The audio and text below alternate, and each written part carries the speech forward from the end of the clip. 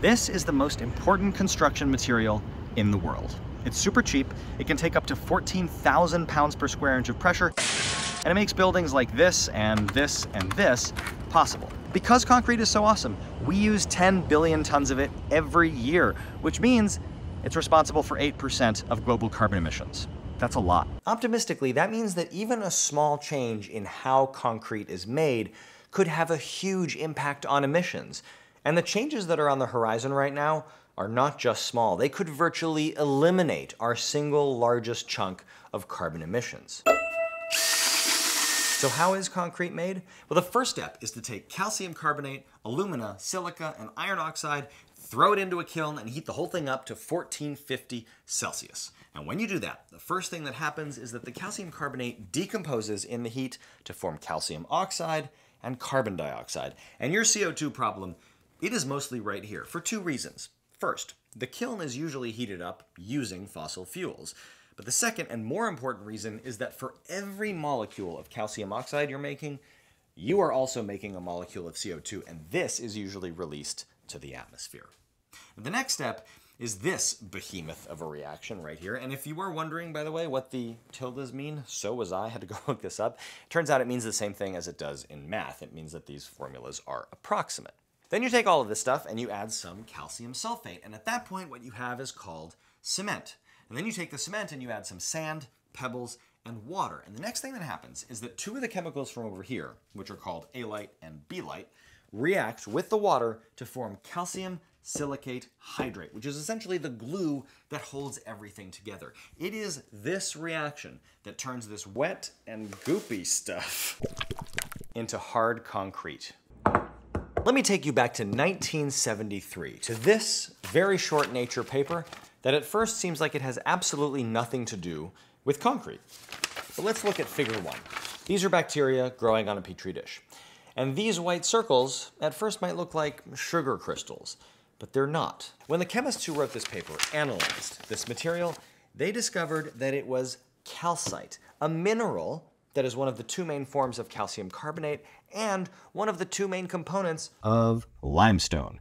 Now, limestone is mostly made of calcite and dolomite, which I could not find on the internet. Calcite is calcium carbonate, and dolomite is calcium magnesium carbonate. Anyway, back to the bacteria. In 1973, the researchers already knew that bacteria living in the ocean could make calcite, but this was the first paper showing that terrestrial bacteria could do the same thing. In fact, the researchers showed that over 210 species of bacteria were capable of producing calcite, which suggests that many more, maybe even most bacteria can do it, as long as the environment is right. And this is where the story takes kind of a surprising turn. This is the John Ericsson Memorial in downtown DC, and the special thing about it is that it's low enough for me to show you the actual stone. See how the stone is in a perfectly sharp angle and it's worn away, and there's cracks and crevices? This is weathering, essentially stone going bad. Here in DC, there aren't that many really old buildings, but in Paris, Paris but in Paris, there are stone buildings that have been subjected to the elements for almost a thousand years. Which brings us to this patent, which I can only sort of read because it's in French. And physico-chimique décrit précédemment vont se trouver. What this patent is describing, in rather poetic French, is a way to help preserve really old stone, whether it be statues, monuments, buildings, whatever. Essentially, the process involves taking bacteria, sticking them in a solution that is primed for calcite production, and then painting that on old stone. Once on the stone, the bacteria get to work producing calcite all around them, and that includes filling in the cracks. And in 2017, we got the clearest picture yet of what that looks like on the bacterial scale. This is a bacterially produced chunk of calcite. Now, it may look like any other chunk of calcite, but let's zoom in. See these things? They look like impressions made in something soft, like peanut butter. But remember, we are looking at what is essentially stone. This is a mineral, it's calcite. So what you're seeing here is where the bacteria were when they built calcite all around themselves, entombing themselves in stone.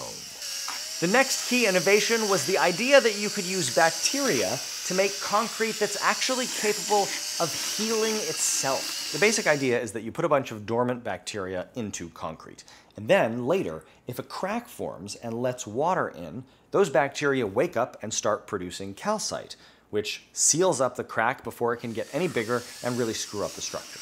But if bacteria can heal existing concrete, then that raises the question, could they build new concrete from scratch? And the super short answer to that question is yes. This sidewalk, for example, was grown by Sporosarcina pasteuri bacteria employed by a startup called Biomason. Now, Sporosarcina pasteuri, which I had to learn to pronounce, builds calcite using the urea hydrolysis pathway. Now, this right here, this is urea. It is the main non-water component of P. And the bacteria use an enzyme called urease to split urea up into two pieces, carbonic acid and ammonia. And the next thing that happens is a series of reactions that happen whenever carbonic acid is dissolved in water, which it would be inside of bacteria. These reactions give you the carbonate ion, CO3 2-, which ordinarily wouldn't do all that much. But suppose there are calcium ions present because we put them there. The next thing that happens is that the calcium and the carbonate react with each other to form calcium carbonate, and this precipitates out of solution as calcite crystals. Now for all this to work, you need to give the bacteria urea, calcium, and food, and that costs money and energy. But there is an alternative method from a startup called Prometheus Materials. Prometheus's solution is to use a completely different set of bacteria called cyanobacteria. You might know them as blue-green algae. And they use photosynthesis to make calcite. They make calcite from light, which is wild. Now, I'm not going to go through all the gory details here because they're actually not as well understood as the urea hydrolysis pathway is, but very broadly speaking, the bacteria use an enzyme called carbonic anhydrase to convert carbon dioxide and water into carbonic acid.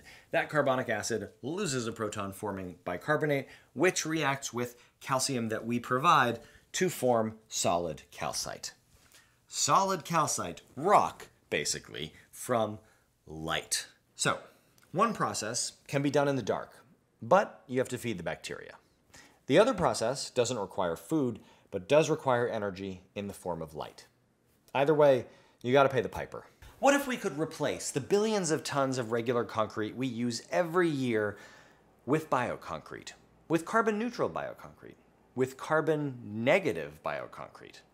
That's a pretty amazing dream, but we are very far from that reality today because whether you are feeding the bacteria or growing them under sunlight or growing them under artificial light, you are doing something that, at least for now, makes bioconcrete less convenient to produce or more expensive to produce, or both, than regular concrete. And we all know the free market doesn't exactly go out of its way just because something is good for the environment. Plus, bioconcrete isn't nearly as strong as regular concrete yet. So to truly compete, bioconcrete will need to be just as good or better than regular concrete when it comes to price, convenience, and strength. Here's to hoping.